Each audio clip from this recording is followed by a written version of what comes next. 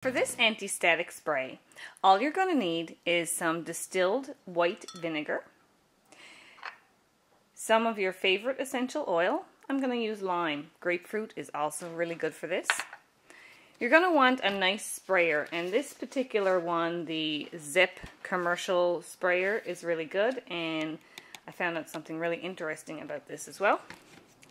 And you're just going to need a little stack of um, some old face cloths or towels, or you can have some J cloths or any kind of shop cloth that you want that's cheap or just something that you're finished with and you've kind of retired from your bathroom. So we'll use these as the dryer sheets that we'll apply the spray to to make an anti-static sheet for your dryer. Now I noticed that some people do pre-make the reusable dryer sheets and soak them in solutions that they make and it's just a lot more complicated.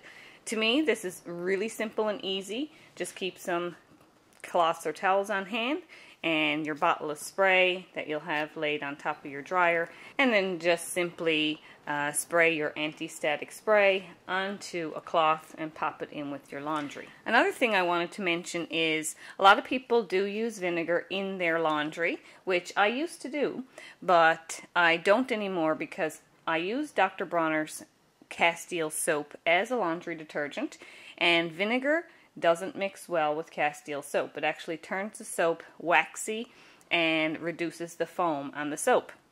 So in a previous video, I showed what I use as a fabric softener and it actually helps foam the soap much better and I leave the vinegar out of the washer and I use this anti-static vinegar in the dryer.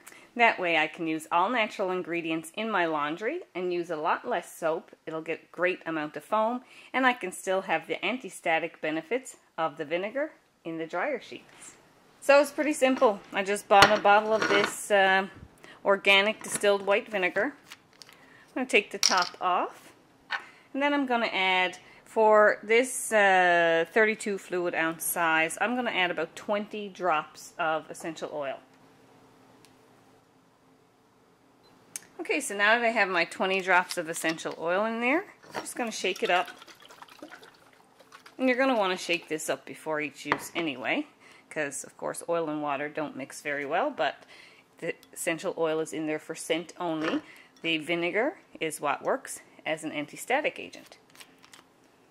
Now what's really cool about this sprayer, you can go ahead and pour your vinegar into the sprayer. That's perfectly fine. Or this sprayer just happens to fit perfectly and screw on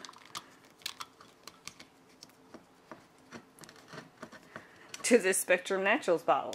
So I can keep it in my glass bottle with this sprayer and go ahead and use it for my laundry. If you want to, you can go ahead and peel the label off since you have essential oils in here and relabel it as anti-static laundry spray. So once I've finished washing my clothes and I've used my fabric softener and my Dr. Bronner's Castile soap for the wash cycle. I just have a stack of old cloths and uh, towels here that I'm going to use as the dryer sheets. I'm just going to take one of these now and take my anti-static spray, shake up the bottle, give about 10 good sprays, and then it's ready to go ahead and toss into your laundry. And you'll have a lot less static in your laundry. Just another little tip for reducing static in your laundry is try not to mix too many synthetic and natural fibers together.